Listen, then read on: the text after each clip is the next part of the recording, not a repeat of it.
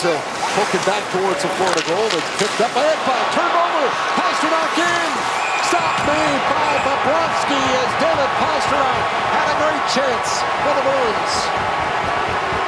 Both these teams have a number of high-end players who are very good at stealing pucks. Ekblad comes in, they got him against the wall. He's being pushed by Geekie, and then right down on him comes Pastrnak quickly. Great set of hands, turns the puck over, but he cannot find a hole in Bobrovsky.